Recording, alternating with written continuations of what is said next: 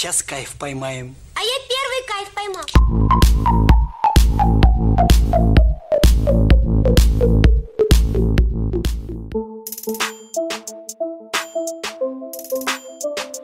Hola de nuevo a todos, soy Canina Racing, bienvenidos a Todo Vapor. Hoy, de nuevo, revisión, hoy de un mecánico y además de un mecánico en una versión que veremos a ver cómo salen aquí las cosas hoy. Hoy vamos a echar un vistazo al Coilart Mage, Mage 2 versión Stacked. Pues sí, versión Stacked. Mm, Sabéis que yo no soy un gran fan del tema del vapeo en Stacked, pero oye, me dijeron la gente de Patreon, oye que está barato y tal, ¿por qué no lo pruebas? Digo, venga, pues todo por vosotros, todo por la patria. Así que me hice de él.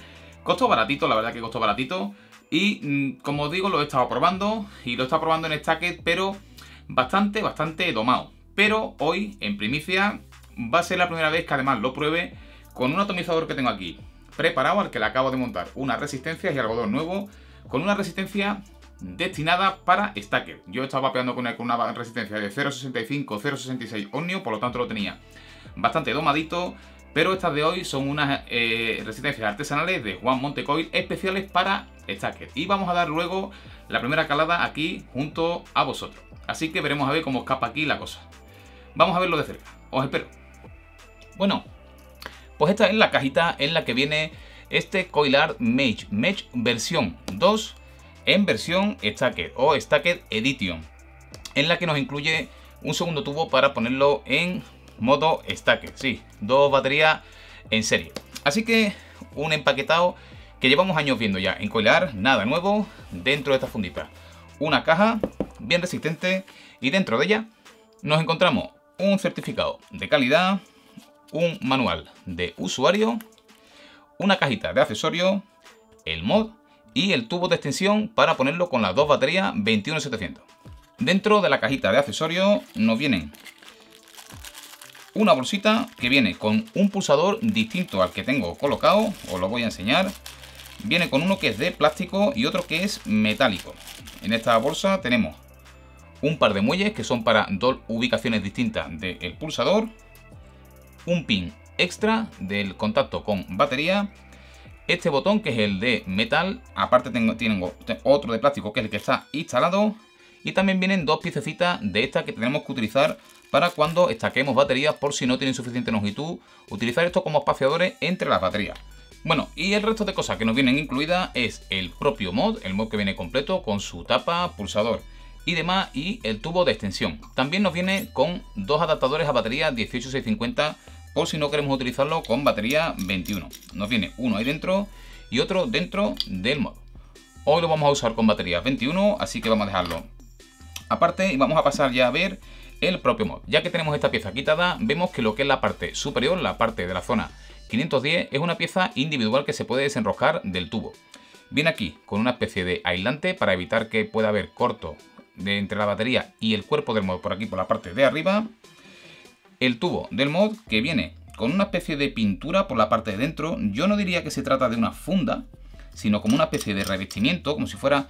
Parece como una lámina de plástico muy, muy fina, totalmente embutida aquí dentro del tubo. Como veis, lleva también unos agujeritos. No sé si lo alcanzaréis a ver ahí en la cámara. Yo no lo estoy viendo ahora mismo en el display, imagino que luego en el vídeo sí. Para que salgan los gases por estas salidas de ventilación superiores. Tiene salida de ventilación superiores en los dos tubos. Vamos a pasar a ver el pulsador, pulsador muy sencillo. Como veis, este es el otro pulsador que nos viene, que es de, plástico, el otro que os he enseñado que viene en la bolsa es de color eh, acero, de color mm, gris. Y el polo, el que tengo en la bolsa, es de color mm, dorado y este es plateado. Así que tenemos opciones ahí. Aquí viene con una especie de anillito que ya hemos visto en otros mods, que es para regular, como veis, automáticamente la longitud de batería. Así que cuando vayamos enroscando, esto empujará la batería y eliminará cualquier movimiento. No obstante, casi siempre será preciso utilizar uno o dos espaciadores de esos de los que hemos visto que vienen en la bolsa de accesorios como este. Yo hasta ahora solo me ha hecho falta siempre uno, el segundo me ha sido innecesario. Vamos a ver el pulsador desmontado y desenroscando toda esta parte podemos sacar este aislante y nos sale también esta pieza que es la que decimos que es la que ajusta el tema de longitud de batería lleva esta anilla exterior que es la que cierra y aquí dentro se nos queda el otro muelle que habíamos visto pequeñito en la bolsa de accesorios. Este muelle es el que hace el ajuste de batería. Luego tendremos aparte el ajuste de pulsos, perdón, el muelle del pulsador, que todavía está metido ahí dentro. Como veis también dispone de ventilación en la parte inferior por si queréis poner la ventilación hacia abajo y para desenroscar el pulsador simplemente dando vuelta a este pitorrito sacamos de aquí el pin de contacto con batería y ya soltando nos sale el pulsador y el muelle del pulsador. Así que con esta operación podremos cambiarlo y poner el que más nos guste. Bueno, volvemos a reinstalarlo todo y vamos a pasar a ver el tema del tubo en sí y de qué atomizadores puede albergar. El tubo tiene unos 26 milímetros de diámetro aquí en esta parte que luego se estrechan un poquito, aquí lleva dos pequeños ángulos y hace que esta plataforma superior sea de 25 milímetros. Así que atomizadores hasta 25 milímetros no tendrán vuelo ninguno, de hecho los de 25 son los que le quedan justo hasta el ras. Viene con unas pequeñas inscripciones, aquí en la parte superior pone Mage, Mage V2, Stacker Edition, como hemos visto la salida de ventilación por aquí arriba, aquí viene con un moleteado en la parte superior, la parte, la parte central del tubo viene con estas rayas verticales, otro moleteado aquí en la parte inferior y el pulsador que ya hemos visto que también viene liso. Un mod que una vez que está montado, la verdad es que tiene una estética muy chula. La verdad es que muy chulo, me ha gustado mucho este mod. Mod eh, construido en latón y del que vamos a hacer una pequeña prueba de salida de potencia. Vamos a estrenar por primera vez el, atomizador que tenemos preparado para todas las salidas de potencia en todos los mods mecánicos que revisemos en el canal. Así que vamos a colocarlo aquí arriba y vamos a hacer la prueba con esta batería Samsung 30T que es la que quiero utilizar para todos los test en baterías 21700 y vemos que esta batería se encuentra a 4,14 voltios. Así que será la medida que tendremos como referencia. La metemos aquí en el mod. Bueno y espero que todo se vea correctamente. Vamos a poner aquí negativo y positivo en el atomizador. Y vamos a hacer una pulsación vamos a ver qué salida nos da aquí en el polímetro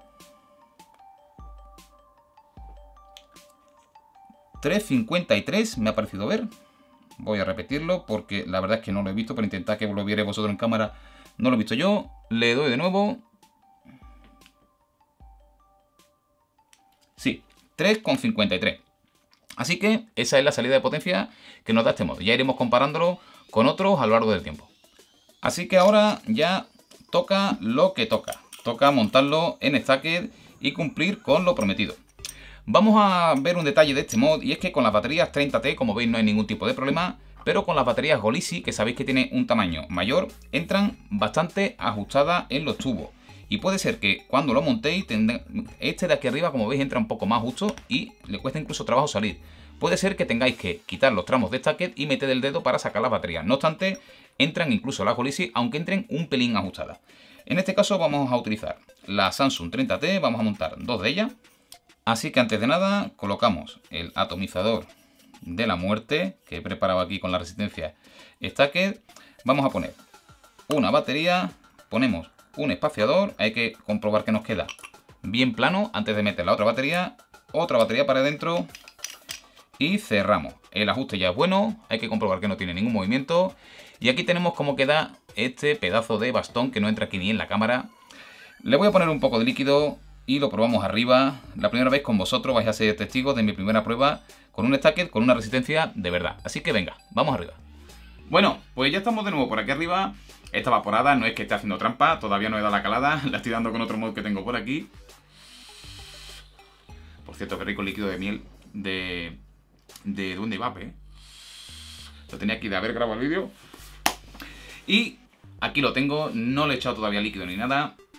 Antes de nada, vamos a pasar directamente a probarlo y ya luego, hoy vamos a cambiar un poquito el orden. Vamos a probarlo primero y para que me veáis dar mi primera calada en un stacket, pero con resistencias de verdad de stacket. Como os digo, yo ya lo he probado en stacket, pero lo he estado probando con unas resistencias que yo me había hecho. Es profeso para tener tanta potencia domada. Hoy, madre mía, hoy vamos a utilizar unas resistencias de verdad artesanales, como os digo, de Juan Montecoy sus Alien Stacked y vamos... Mirad, yo no sé si... Hoy va, hoy va a venir la risa, ¿eh? No quiero memes ni nada de eso por ahí, ¿eh? Pero hoy... Mirad esto. madre mía, cómo zurra esto. Bueno, voy a poner la cap antes de que empiece a salir líquido por todos lados porque le pienso echar ahí bien de líquido porque imagino que esto tendrá que estar todo muy bien mojado. Vamos a colocar la cap, parece que ahí está en su sitio. Entradas de aire abiertas a tope. Voy a quitar esto de aquí para mojarlo todo muy bien. Todo esto lo quiero hacer así sin corte y nada para que veáis que no hago trampa, que voy a dar mi primera calada junto a vosotros para que me veáis la cara y os riáis si queréis. ¿eh? Soy muy... Y vamos a cerrar aquí un poquito sin cerrar el aire, porque creo que esto tendrá que tener mucho aire, quiero imaginar. Y...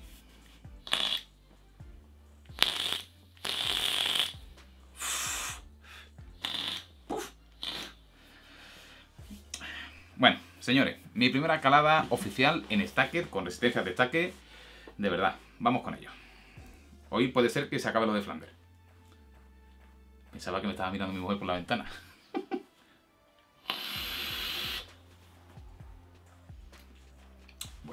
Ni tan mal, ¿eh? ¡Buah! ¿Cómo zurra esto?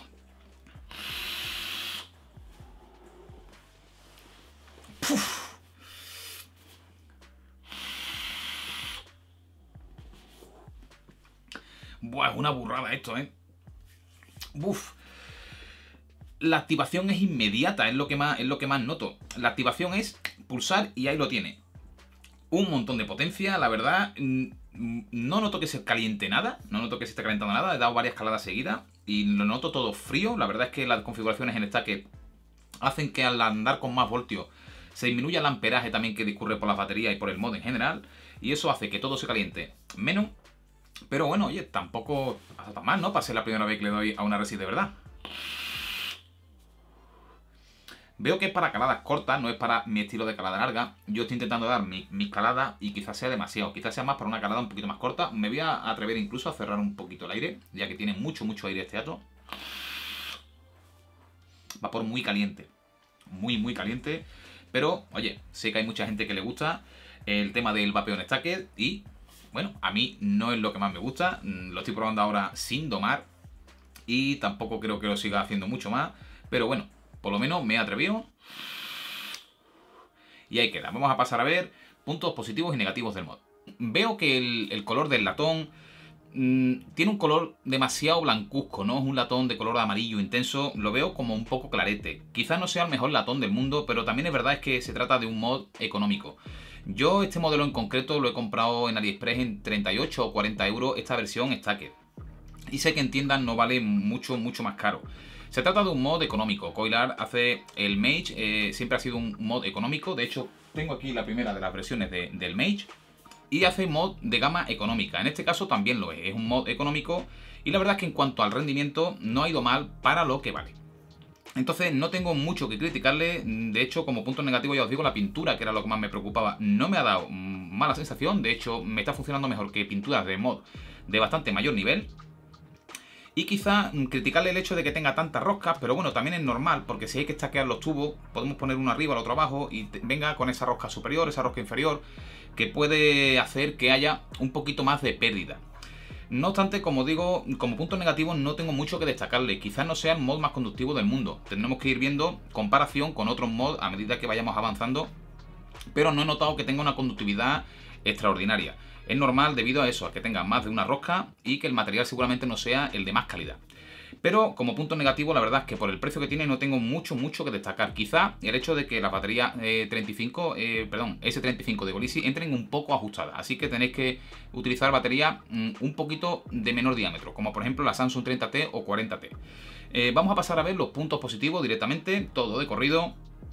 Y con respecto a los puntos positivos, como os digo, mod económico, la pintura me ha resultado de buena calidad.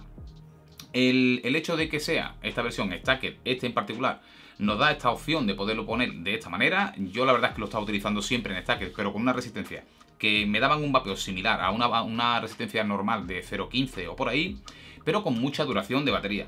No he notado calentamiento en pulsador ni nada, eh, se mantiene bastante limpio, un mod que ni siquiera he limpiado en el tiempo que lo llevo utilizando y le da bastante uso y no se ha estropeado nada la pintura ni nada. Tiene esas opciones de poder cambiar el pulsador, de poder cambiar el contacto por uno metálico, de plástico el pulsador, el contacto plata o dorado, muelles de recambio para tanto el ajuste de batería como para el pulsador. La verdad es que viene bastante bien. Me gusta también mucho el hecho de que venga con ventilación superior e inferior. Es una cosa que no cuesta ningún tipo de trabajo y aquí que ha demostrado que se pueden poner ventilaciones en los dos sitios. Y así ya nos quitamos el problema de que si ponemos la batería para arriba, si nos ponemos la batería para abajo. A mí me gusta poner el positivo arriba y me gustan las ventilaciones por arriba porque veo que es una zona donde salen los gases con mayor facilidad. Así que han implementado esas dos salidas, tanto superior como inferior, que creo que es un gran acierto. También viene con el tubo revestido con esa pequeña lámina que casi casi parece una pintura de lo fina que es pero que también protege en caso de que tengamos el mod, eh, la batería un poco pelada, de que haga un contacto con el tubo.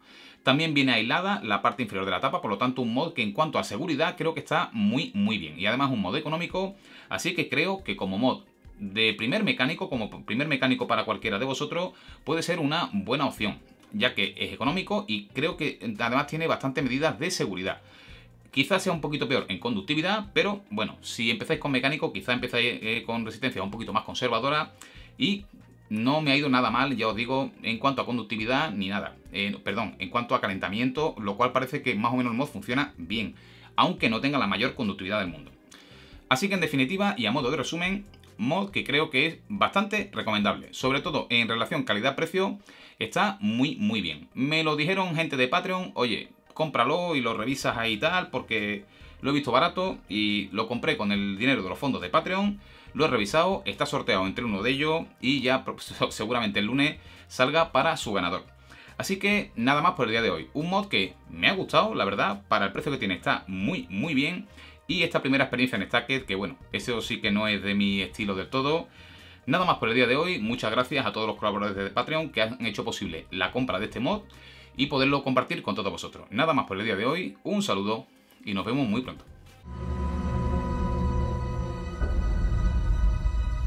force is strong in my family.